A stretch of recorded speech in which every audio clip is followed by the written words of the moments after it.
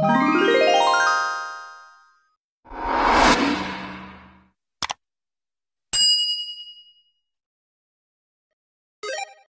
Halo semuanya, kembali lagi di channel YouTube aku Idapar. Jadi di video hari ini aku mau share gimana caranya share link Shopee affiliate di Facebook untuk pemula. Jadi banyak banget ya komen di Facebook aku gimana sih caranya gitu loh share link Shopee affiliate di Facebook. Nah, buat teman-teman yang pengen tahu langsung aja simak video berikut ini. Oke, pertama kita masuk dulu ke Shopee. Jadi kalian harus pilih dulu produk, produk apa nih yang bakalan kalian share dan pastiin produk yang bakalan kalian share itu adalah produk-produk yang bagus dan juga banyak diminati oleh orang-orang kayak gitu ya. Nah, contoh aku mau nge-share produk misal ini ya. Misal kita mau share produk tas ini ini tuh harganya 118 sampai 138 dan kalian harus lihat ini penilaiannya udah oke okay banget ya di 4,9 kemudian barangnya juga terjual udah sekitar 10.000 jadi udah good quality banget lah ya. Terus kita scroll ke bawah. Jadi tokonya itu adalah toko Shopee Mall. Jadi udah Shopee Mall ya. Syaratnya kalau mau share link Shopee affiliate yaitu harus star seller Star Plus dan Shopee Mall. Jadi ini udah memenuhi syarat banget dan kita bakalan share produknya. Pertama kalau misalkan kalian nggak punya video atau nggak punya uh, hasil hasil editing video gitu kalian bisa ngambil fotonya aja.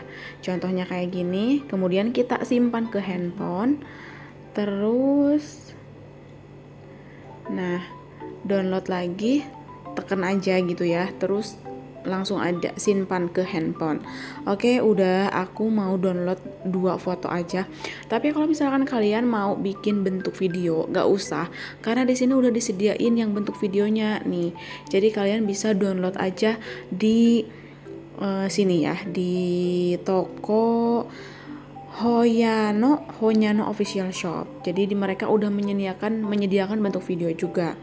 Oke, langsung aja kita uh, share linknya. Di sini ada panah, kemudian salin tautan. Udah nih, udah disalin. Kita akan back.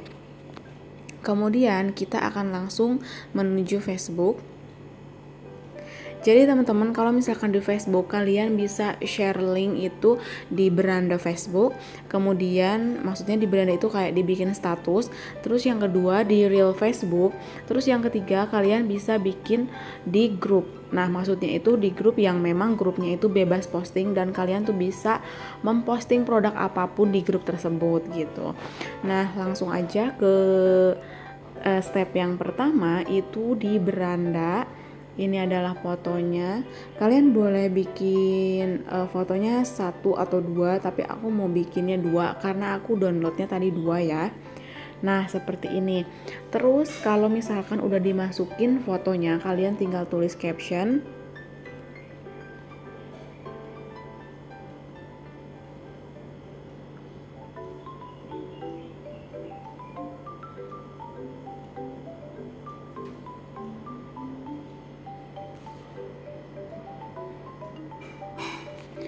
Oke, udah tulis caption, kemudian jangan lupa tempel tautan yang tadi udah disalin.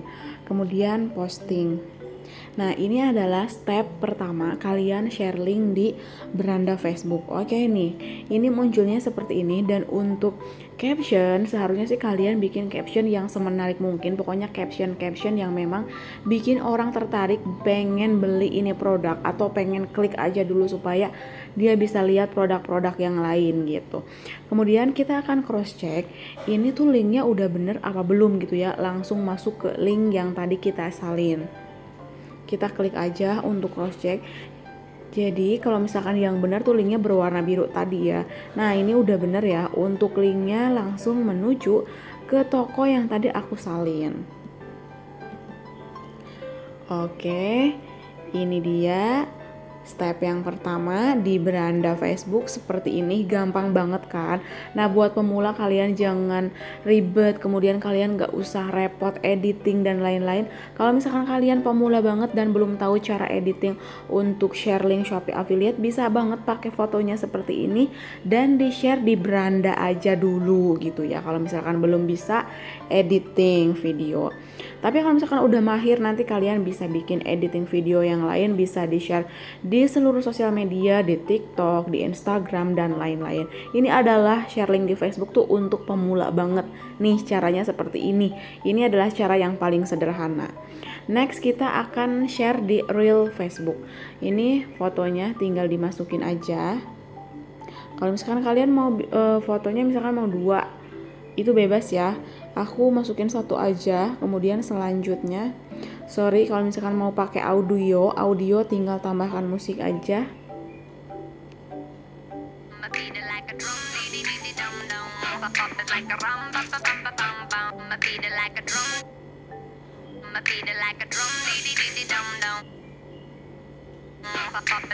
Oke, selanjutnya kalian tinggal tuliskan deskripsi atau caption yang pengen kalian tulis.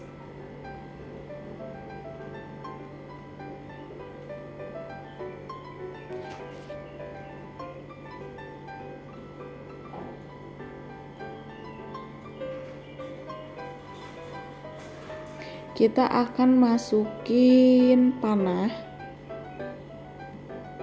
kemudian tempel dan bagikan real Nah, ini juga sama. Jadi kalau misalkan share di beranda dan di real Facebook itu ketika orang pengen beli produk yang mereka bisa langsung aja klik link yang ada di pinggirnya. Jadi benar-benar mudah banget tinggal klik link doang itu bisa mengantarkan si orang tersebut yang klik link langsung ke Shopee yang tadi kita share linknya teman-teman jadi e, menurut aku nih untuk pemula kalian wajib banget nge-share produk di Facebook karena mudah banget dan juga bisa memudahkan si pembeli juga gitu loh Nah, kita akan lihat tadi kan aku udah uh, tempel linknya di sini. Kita akan coba cek apakah memang betul atau enggak gitu. Nah ini dia, ini tuh link yang tadi aku salin bener ya. Jadi dua-duanya udah bener, udah di beranda dan di real Facebook untuk share link Shopee affiliate yang dilakukan. Ini adalah tahap uh, yang kedua atau step yang kedua. Jadi step yang ke satu kan share link di beranda, terus step yang kedua share linknya di real Facebook. Kemudian step yang ketiga kita akan masuk ke grup Nah, untuk grupnya sendiri aku infoin ya. Jadi harus grup yang memang bebas posting.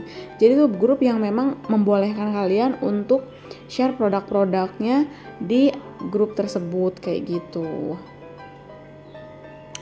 Uh, kita akan share di marketplace online shop ya.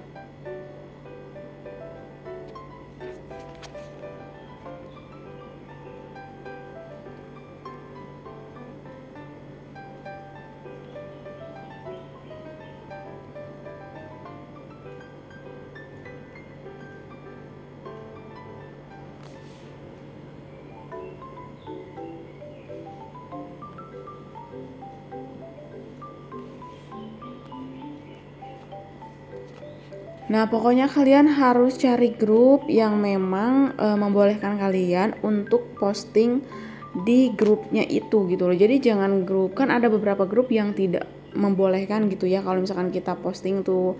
Nah, kayak gini ya. Jadi tuh kayak yang memang di yang memang grupnya itu bebas gitu loh. Ini juga nih kayak khusus jual beli online gitu. Jadi tuh kalau misalkan grupnya bebas ya kalian bisa share link sebanyak-banyaknya di grup tersebut. Jadi kalau misalkan kalian share produk Shopee affiliate di Facebook itu udah bisa tiga share produk bisa kalian lakukan di Facebook. Bisa uh, kalian lakukan di Facebook ya. Maksudnya pertama kalian bisa share di beranda terus yang kedua kalian bisa share di real Facebook dan yang ketiga kalian bisa share di grup. Asalkan grupnya itu uh, apa namanya bebas gitu. Oke teman-teman, itu dia ya cara sharing produk di Facebook untuk pemula. Semoga video yang aku share bisa bermanfaat buat kalian semua. Jangan lupa like, comment, subscribe di video channel YouTube aku dan see you on my next video. Bye bye.